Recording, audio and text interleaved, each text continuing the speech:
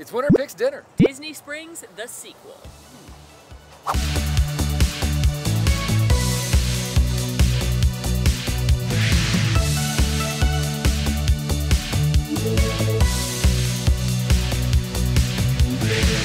Hey there, man fam. We are here at Disney Springs for another round of Winner Picks Dinner. We played our very first game of Winner Picks Dinner here at Disney Springs over a year ago, and there are so many places to eat and drink that we're back for another episode. Really, there's just so much food that I want to eat so badly.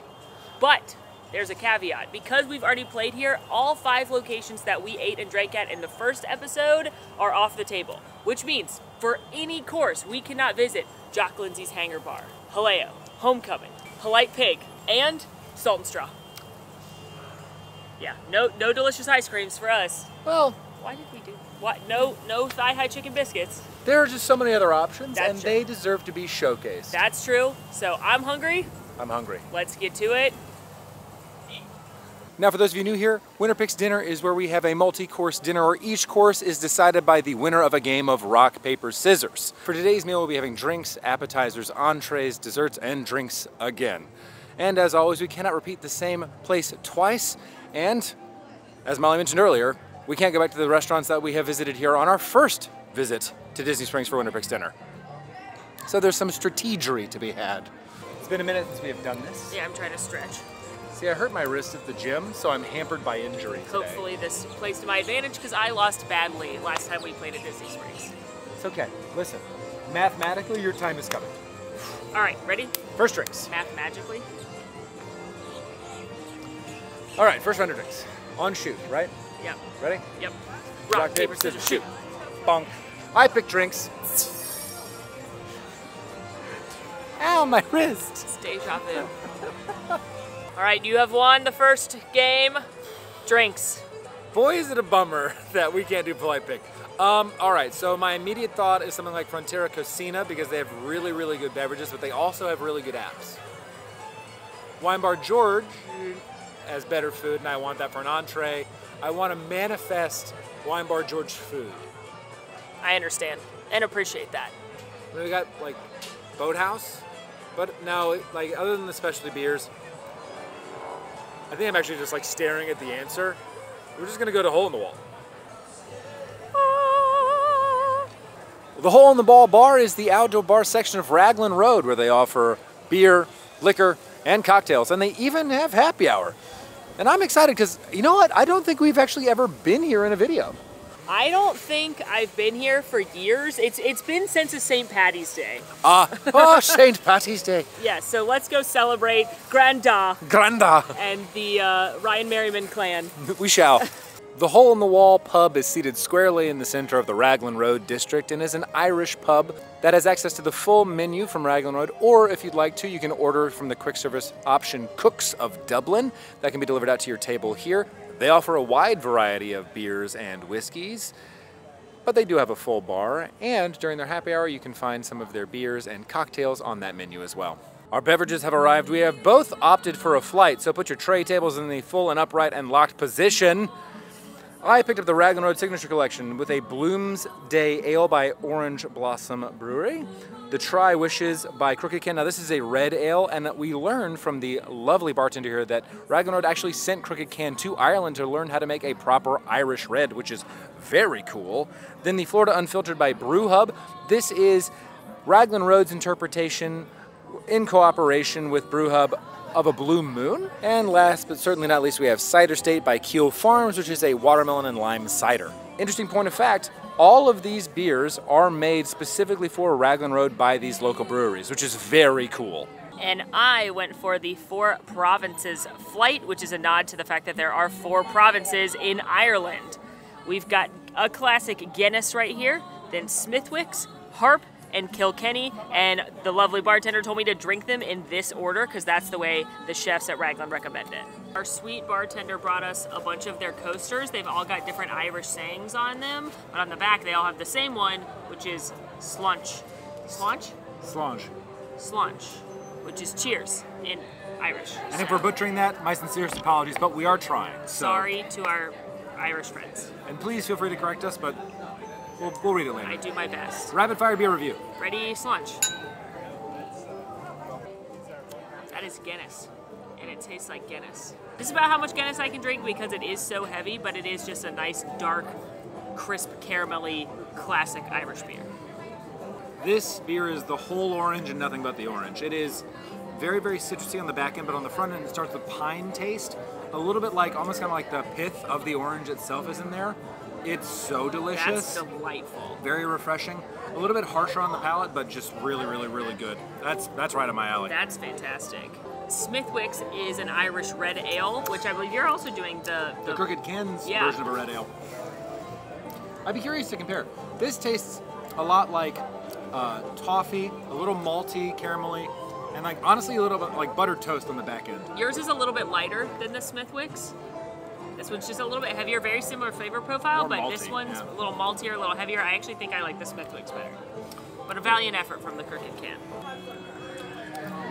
That's Harp, which is a lager. It's a very classic style lager. I've had it a million times before because if you get my favorite drink, the Snake Bite, over at the Rose and Crown in Epcot, this is the base that they mix with the cider. It's just what I think of beer. This is what I think of. Very crisp, light, easy drinking, classic lager. I heard that this was a take on a Blue Moon. It's filtered as opposed to Blue Moon being unfiltered. That tastes like a, a lighter Blue Moon, a little citrusy, and it's almost has like champagne type notes too. That's it's really good. That's fantastic. My problem with Blue Moon is I love the flavor, but it's too heavy if you're like on a hot day. And this is nice and light and crisp, So and not nice. as orangey. It's not as sweet. That's fantastic. Ah, that. Woo! Woo! Well, that's a switch up on the flavor profile. For being a cream ale, this is not as sweet as I thought it would be, or as heavy as I thought it would be. I don't know. I hear cream ale and I think cream soda, even though I know that's incorrect. I think of the four that I have, the Harp is my favorite, which is probably no surprise, followed by the uh, Smithwick's Red. That watermelon lime ale starts off really sweet with the watermelon flavor and then ends a little Ooh. sour with the lime. It It's like It- a Jolly Rancher. it threw me for a loop. Yes, it's very much like a Jolly Rancher. It's a good cider. It's definitely sweeter than I Yeah. would prefer to drink bevies. Oh, oh yeah. I think this is a really cool concept. Being able to take both beers from Ireland, as well as beers that are made specifically for Raglan Road, and you can't find them anywhere else, is such a neat way to experiment and try these new things. I love it. Plus, I love that they have happy hour here. They've got good deals. It feels like this place is pretty underrated, and the food is really good at both Cooks and at Raglan itself. The fish and chips are great. The bread pudding is to die for. So, a good spot to come grab some grub and a beer. Slush. Okay. Round one is in the books. I think that was fun. That was delicious beer. It's fun to do a flight. I'm no complaints for me besides my loss. You know, I've missed Winner Picks Dinner because the best part is no matter who wins, we get good food and drink. Spoken like a winner. You got this. You ready? Yes. Sure. Yes. On shoot. Apps. I got. I got. I got apps. I'm dreaming of. So I'm dreaming of. All right, ready? they're cheese based. All right. Yeah. Rock, paper, scissors, shoot. Good job. Okay, what are you thinking? I am now at a crossroads of cheese, and um, it's because I either want to go to Wine Bar George and get like fire cheese or mac and cheese bites or a couple of their small plates, or I want to go right there to Frontera Cocina and get their amazing queso, maybe some guacamole. I'm gonna go Wine Bar George, and that's because Frontera Cocina also has really good entree. So if I happen to win the entree round, I'll have that as a good option. Whereas Wine Bar George, my favorite things there are the small plates, which are more appetizer. Headed to Wine Bar George, I've, I've got my eye on this Gideon's cookie line here. They haven't gone to a mobile line yet, because that's, you know, something to consider for dessert, but it usually requires some pre-planning where you have to get in a virtual queue. But anyway, we are headed to Wine Bar George right here. This is one of my favorite restaurants in all of Walt Disney World. It is brought to you by Master Sommelier George Miliotes, and it, as the name would suggest, has an incredible wine selection. Hundreds of different wines by the glass, by the ounce, by the bottle. But they also have amazing food, and it's right up my alley. It's charcuterie boards and little small plates. They're known for their meatballs and their mac and cheese bites. And while they do take reservations, and I highly recommend them, especially for brunch, which is amazing, they also often have spots at the bar.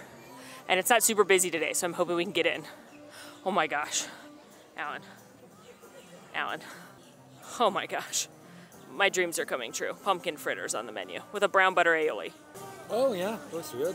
The weekday lunch menu at Wine Bar George features a variety of small plates, of which we have ordered three for our appetizer. They also do some of their signature boards, a cheese board, a meat board, or the big board, which is a combination and fantastic. We had that in our charcuterie video, it was amazing. They also do a couple of different sandwiches for your lunchtime, things like a chicken salad sandwich, a snapper sandwich, a French dip, and then they do have some of their family style plates like the skirt steak. But for me, my favorite thing about eating at Wine Bar George is the small plates, including this one that I've never had before. It's a newer addition to the menu, but it's pumpkin fritters with a bacon brown butter aioli and some sage on top, and it looks and smells delicious. We also have the crispy mac and cheese bites that with tomato nage and pecorino. And last but certainly not least, our Saganaki on fire arrived, which is a Vlahotory cheese, which is a Greek cheese. It's coated in metaxa, which is a liqueur, lit on fire, and then put the fire out with a lemon, some crostini on the side. This is my dream come true right here. First up, pumpkin.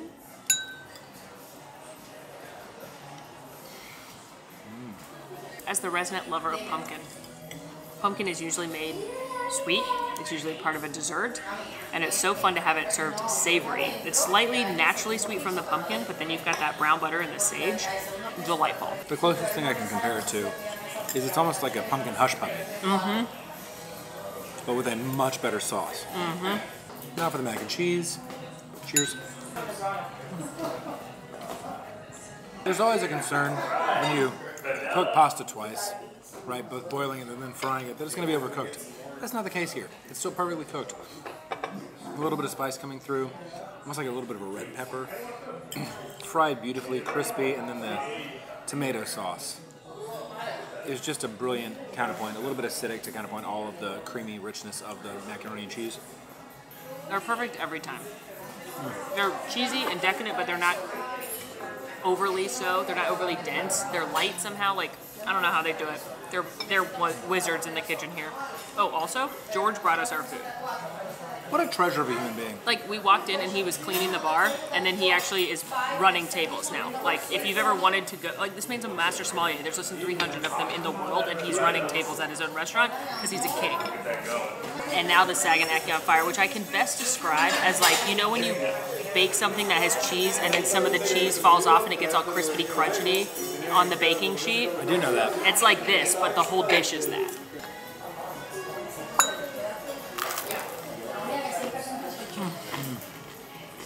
The cheese itself is nutty, and then you've got the little bit of acidity and citrus from the lemon that was squeezed on top, richness from the brandy. I mean, it's just cheese, but it's so much better than that. It is a bit of a um, a stronger flavor of cheese than I think a lot of folks might expect. It is uh, akin to a strong goat cheese in terms of like the flavor profile, but it's harder, mm-hmm. a little bit spongier. So very tasty though. Um, that's just like a perfect marriage of flavors, I think, inside of that dish. Wine Bar George, I cannot recommend it enough. And a meal made of cheese and pumpkin. This is this is girl dinner Molly edition right here. It's a lot of birds. There are so many birds right here. It's very alarming. Anyway, finished up a fantastic course at Wine Bar George. I just love that restaurant enough. I cannot give it enough flowers for the fact that like the service is always incredible there, and I think that stems from the fact that George, the owner of the restaurant, like I said, was literally like wiping down the bar and running tables.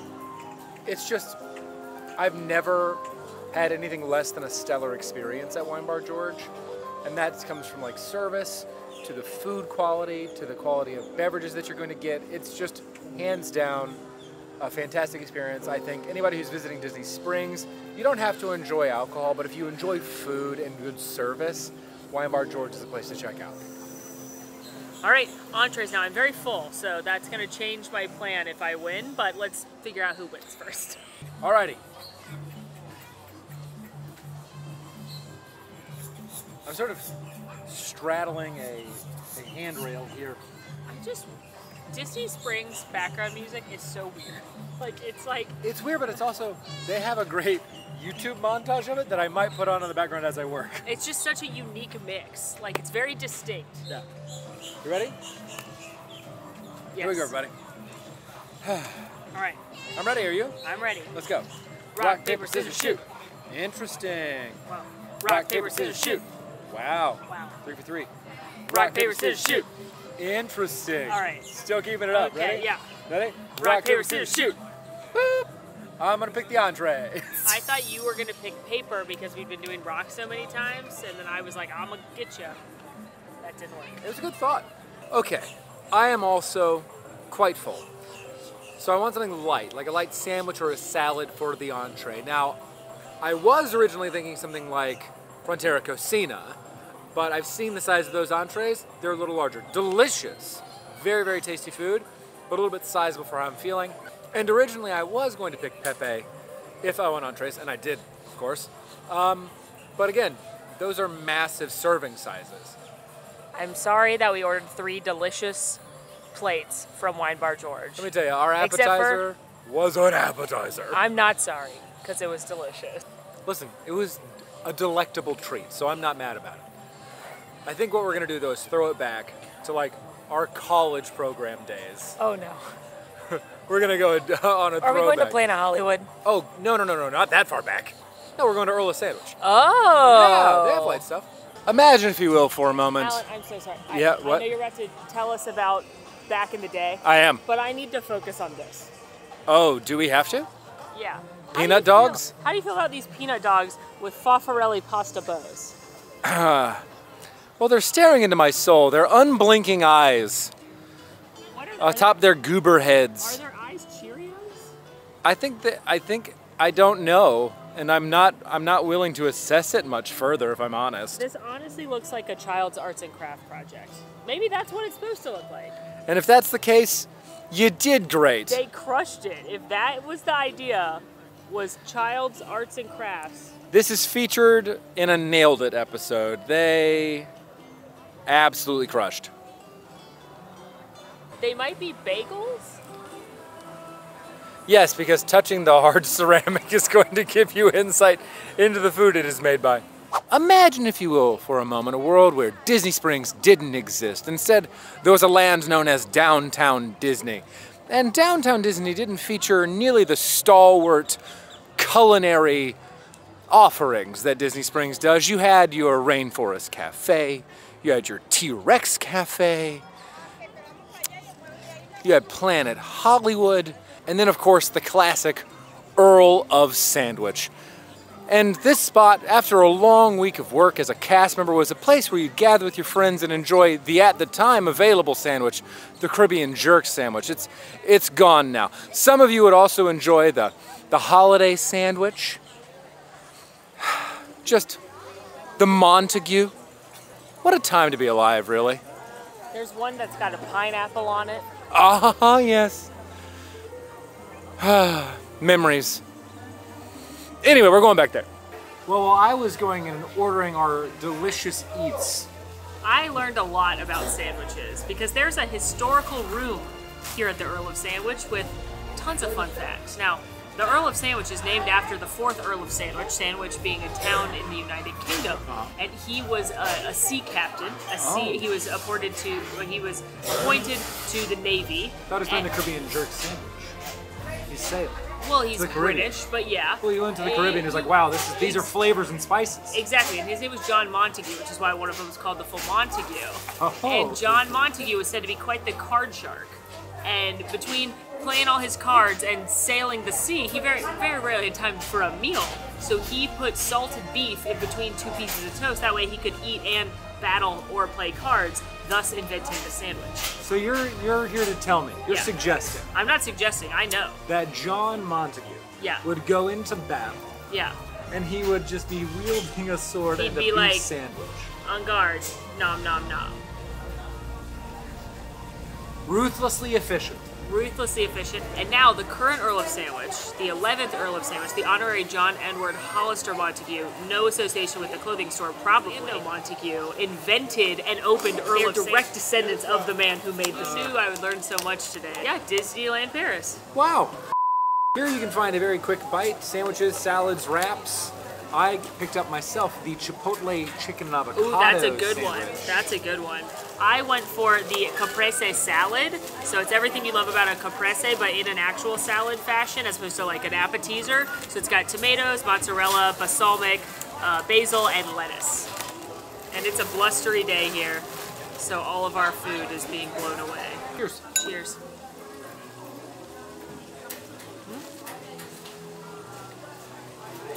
You know,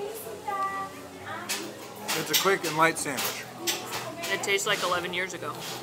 Yeah, I've immediately thrust back to my college program days. Yep. The balsamic glaze they put on that is, I got too much of it on the first bite. It attacked me. It was a little sweet, but sparingly. It's good, and there's a bunch of cheese, fresh tomatoes, and they did give me balsamic vinaigrette too. If I want to add that. Hmm. This sandwich is filled with a lot of chicken, whole host of cheese, bacon, some chipotle sauce, which is a little bit like a chipotle barbecue, so it's not actually super spicy. It's a little smoky and sweet. And then, of course, some avocado. I mean, it's it is a fine sandwich. I think if you're looking for a quick, light bite to eat in Disney Springs when you don't want to maybe sit down and have a longer dining experience, nothing wrong with a little sandwich.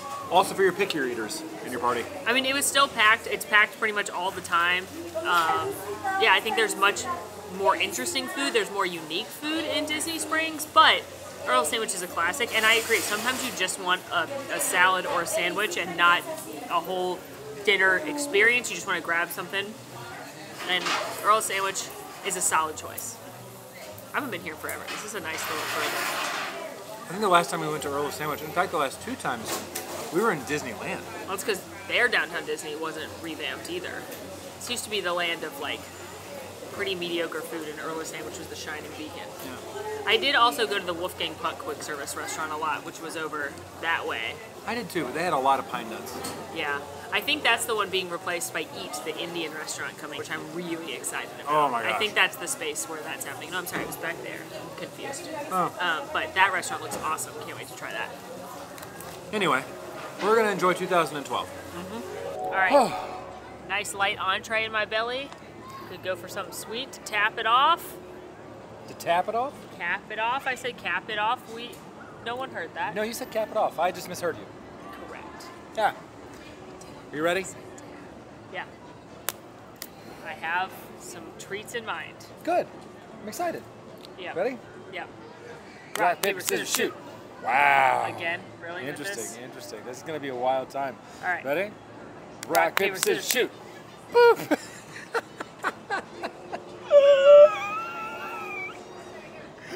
it's okay. It's okay. My streak is over. I was doing well at Animal Kingdom, and now it's back to this. Now, the best part about Disney Springs is that there are tons of places to get a sweet treat. You have Goofy's Candy Company, Ghirardelli. If I wanted to be really mean, I could pick Everglazed and get some donuts. That's rude. I'm not gonna do that though. I think the obvious answer and the one that I want is to go to Gideon's and get a cookie and a cold brew. That is the correct answer, and it will taste delicious, but slightly less sweet since it's your victory. But a Gideon's cookie is a Gideon's cookie. Also, I need to practice. I need to eat some more cookies for my own like mental log for how to make them. Quick yet incredibly important pit stop on the way to Gideon's, though. It's at the PhotoPass studio because they have amazing and very realistic magic shots you can do with a variety of incredible backgrounds. It gives Olan Mills vibes, and we need some holiday shots.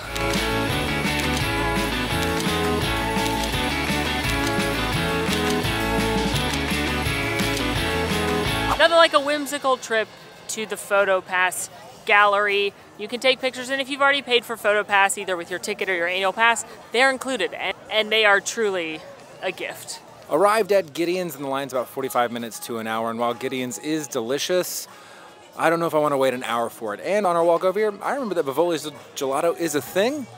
So we're gonna go there. It's one of the most underrated spots in Disney Springs, and I'm feeling some gelato. Vivoli Il Gelato is straight out of Florence, Italy, where they opened their shop in the 1920s, serving up delicious treats like gelato, tiramisu, cannolis, and other Italian specialties. There are only a few locations outside of Italy in the whole world. There's one in New York. This is the second U.S. location ever opened, and I agree with Alan that it is incredibly underrated when you've got heavy hitter dessert shops in Disney Springs like Salt and Straw, like Gideon's. But every time I've been here, the treats have been delicious, and I'm excited to have some gelato now.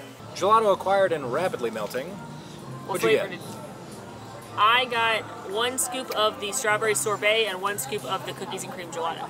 And I got two scoops of peppermint cheesecake, two of my favorite things. You know, for a cheesecake, I thought it'd be super heavy, but it's actually really light. A lot of candy cane presents. The cookies and cream is smoother than I would say probably most ice cream is as far as like there's not big chunks of Oreo, but it's got that Oreo flavor. It is lighter than I think ice cream is. And then the strawberry sorbet is just light and fresh and not artificial. So if you're a fan of the iconic passion fruit orange guava juice that they have around Disney, they've got a sorbet version in here. So good. I didn't think it could be a cheesecake ice cream dessert, or I'm sorry, gelato, and have it be light. But this is so light, but you can tell cream. You can tell it's cheesecake. I love Gideon's, I love salt and straw, but there's something really nice about just a little scoop of gelato sitting outside, no line. Good choice. Okay, last round. The gelato's really tasty. Now it's for. You good? Just looking at my hand and how disappointing. You almost caught a leaf. I almost got a leaf. That was wild. Now it is time for some after dessert beverages. They're not in short supply. Ready? I'm going left-handed. Don't let me down, Okay. lefty. Are you going left-handed too? Sure. Solidarity, sister. All right. Ready? Yeah. All right. Ready? Yeah. On shoot. Yeah. Rock, paper, scissors, shoot. Oh wow. Nice. Should we stop this? I mean we can. Ready? Ready? Rock, paper, scissors, shoot. Oh, intriguing. Are you ready? Uh huh. Rock, paper, scissors, shoot. Boop. I'm gonna pick the drinks. Mm, lefty. I also want you to know something. Yeah. That I have thrown rock literally every round until the last two rounds. I don't keep track of these things. Literally every round I threw rock. I didn't. I threw only rock until the last two rounds. Had to, had to try to turn the game up to win. Well, at least I got one. Good job. So, behind the scenes fun fact I went to watch, skip through last spring's video to make sure I knew which restaurants we went to. There were comments that were like, I love how it just turned into Alan picks the meal at Disney Springs, and here we are again. Honestly, my only sadness now is that I didn't get I didn't pick Pepe, but it was good to revisit 2012 like that. So, um, as far as beverages go, Disney Springs has a variety of options. Again, I'm bummed that Polite Pig is out of the picture. I'm also bummed that Jock Lindsey's Hangar Bar is out of the picture right here. And I took Wine Bar George And Wine Bar George is gone too. and Homecoming. And Homecoming. wow, we're really narrowing them down a little bit. In terms of beverages, you have places like Splitsville, close by City Works. But I've already had beer. I'm really craving a cocktail. Um, Frontera Cocina, but I don't know if I want a margarita or something tequila based right now. The Edison. The Edison's right on the corner and they have an incredible old fashioned. And I know you like those two malls, so let's do a win for both of us. We'll go get old fashions at the end. To be clear, I am not a winner. I am a loser. Wow, that's a throwback. Loser. Loser. Loser. Le who? The her. The Edison is, as the name would suggest, themed after electricity and Thomas Edison, but it represents itself in a very industrial and steampunky type vibe. It's filled with a variety of eats, treats, and drinks. We're going to go sample the latter of that. And it also includes a hidden tunnel to Enzo's hideaway, which is the speakeasy of Maria and Enzo's, where Enzo has sort of gathered his own special variety and menu there.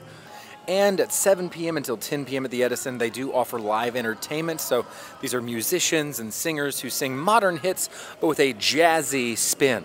Now, I know I mentioned a secret tunnel. Uh, we're going to try not to reveal it, but it's over this way past the restrooms on the left. But you didn't hear it from me. The food at the Edison is elevated American fare, so burgers and sandwiches. They are most well known for their clothesline bacon, but we are not here for that today. We are here to enjoy some of their libations. Now, the Edison has a wide variety of cocktails ranging in all sorts of flavor profiles and prices. They've got some very fancy bottles on the wall, which result in some pricey cocktails, but a lot of fun. Some of the cocktails include the Time Turner, which is made with uh, Campari, Santa Teresa 1796, the Samantha Sterling, which is a nod to an Adventurers Club character, which used to be here when there was Pleasure Island, which has got Grey Goose and Rose and Cinnamon Cordial. Also note the Samantha Sterling, as well as other cocktails on the list, can be actually turned into giant punch bowls, which serve several people if you want to get a big party going. But today we went for the patented old fashioned, which I know is very shocking to everyone. It's Basil Hayden bourbon with Angostura bitters and simple syrup, and then we asked if they could smoke it for us, and they sure did. It was a very cool smoking gun, and I'm very excited to try this. Looks like a really good classic old fashioned. Cheers.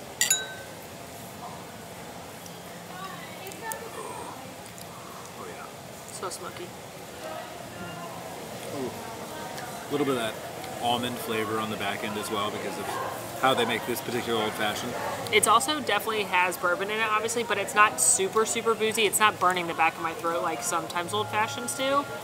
It's very, very balanced. It's not too sweet. It's not too smoky. It's got hints of the smoke though. It's a very good classic old fashioned. Good way to end Winner Picks Dinner, wouldn't you say?